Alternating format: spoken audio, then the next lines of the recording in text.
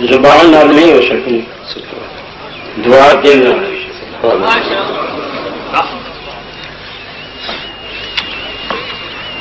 تسی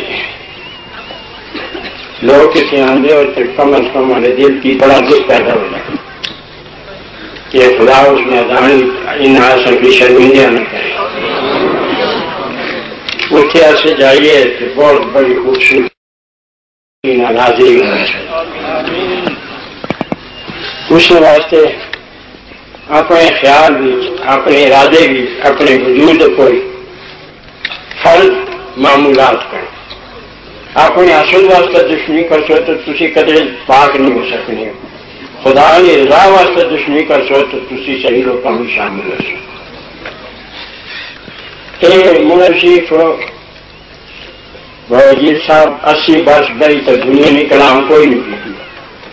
یہ کلام کی کریں کہ بچہ دو قدم ہٹا دو ایک دنیا سی اور ایک آخرت سی۔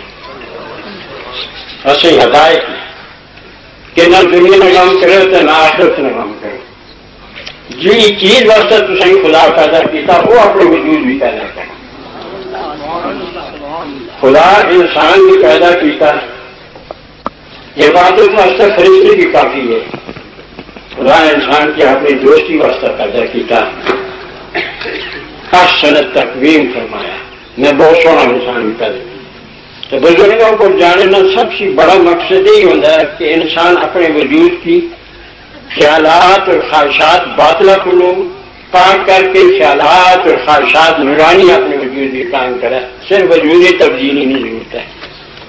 اس وقت ذکر سمجھار جڑا پیر نربس ہے اس کی مت چھوڑو۔ جڑے وظائف ہیں، انہوں کی مت چھوڑو۔